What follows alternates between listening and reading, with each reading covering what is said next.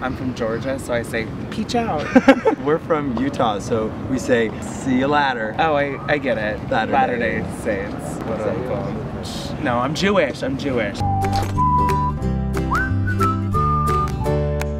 Hello, gays, straights, and bisexuals. I am openly Jake, and I'm here with a very special guest today. This is Micah Jesse from Behind the Micah, but also from MicahJesse.com. I write about celebrity and lifestyle news. I've been doing it for about eight years. We are going to do the first date challenge. First date challenge, best way to get to know each other. First date. Let's uh, try simulating a first date as best we can. So why don't we start? All right, hold on. Oh, hi, it, Micah from Grindr, right?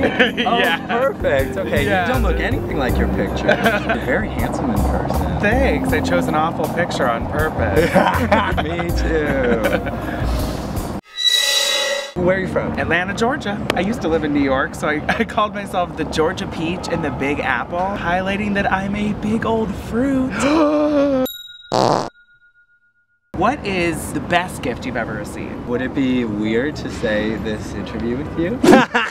Oh my This god. first date's going so well. What's the worst gift you ever received? when I was a kid, my parents bought all the kids the same stuff. And like we were going through some rough times when we were children. And then there was one Christmas where my sisters got a Barbie. So I had to get the same exact gift. I as well got a Barbie, but my mom thought it was cool because it was a Ken Barbie. I'm like, Mom, this gift said it was for me. Santa must have gotten the name wrong. I actually have something to say to that. I was obsessed with Barbies as a kid.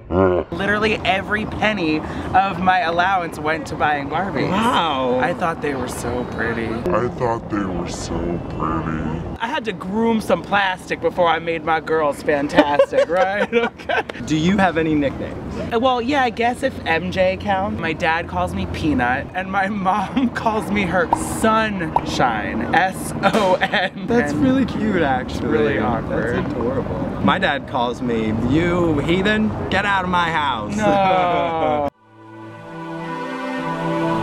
Bye, Felicia. Hi, Felicia. so what drew you out here to Los Angeles? I moved out here to pursue my red carpet coverage for my website. So Nice. everything's out here in Hollywood, right? All the stars, In your line of work, you deal with celebrities all of the time. Have you developed a kind of like, uh, rapport. yeah, where you're like, you're cool, you're never really starstruck a lot? Yeah. Or are there one or two celebrities that might There really, are. okay. I mean, it's so weird that it's someone like this, but like Ryan Seacrest of all people. he's from my hometown. oh, wow, Um, really? Yeah, he's from Dunwoody, Georgia. He went to my rival high school. Who would you get starstruck over? You know what? And I've always watched him on TV as a kid. Before he came out, my family was really like into Doogie Howser. NPH, Neil Patrick Harris. I mean, and I, I don't always get that way about people. And he's not necessarily even really my type, but I'm just like, do you want to get a divorce and marry me?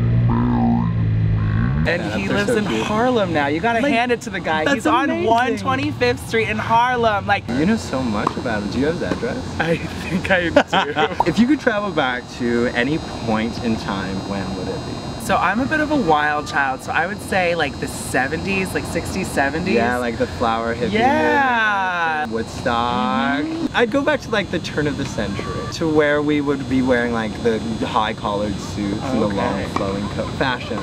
Bash. I want Edwardian fat. Okay. Do you want the big like white hair? Like That's a bit earlier, but I would for sure still be sporting one of those. how much earlier? Like 100 100,000 years? years. Yeah. If you could be any animal, what would you be? Peacock. Easy answer. They just walk around and then go. Hi. That was how I got my arm around you. The state is going so well.